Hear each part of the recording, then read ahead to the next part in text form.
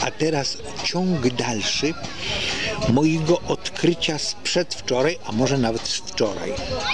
Ponieważ wczoraj, prawdopodobnie przedwczoraj to się pojawiło, a wczoraj to już to odkryłem, zauważyłem, że bunt jest silniejszy od przymusu. To znaczy, że możesz doprowadzić do skutecznego działania wtedy, jeżeli się zbuntujesz. I teraz, jeżeli potrafisz to zastosować, to możesz to świetnie zastosować do osiągania niektórych swoich celów. Na przykład,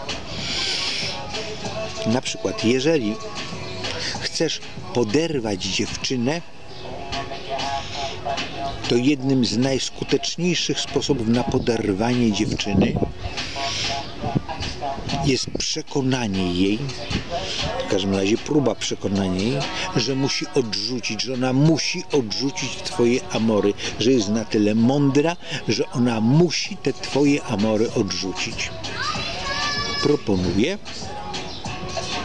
żebyś zaprzeczył temu, co mówię i sprawdził w praktyce. Droga kobieto, jeżeli chcesz przekonać do siebie faceta,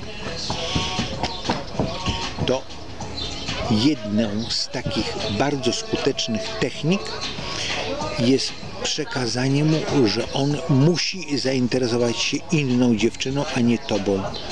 Bo i tutaj powód może być dowolny, bo tak uważa, że będzie dla niego lepiej, że musi się zainteresować inną, a nie tobą. Proponuję, zanim pomyślisz, że to jest głupie, sprawdź, a jak będziesz mi chciała podziękować, to co najmniej na dwóch stronach papieru podaniowego.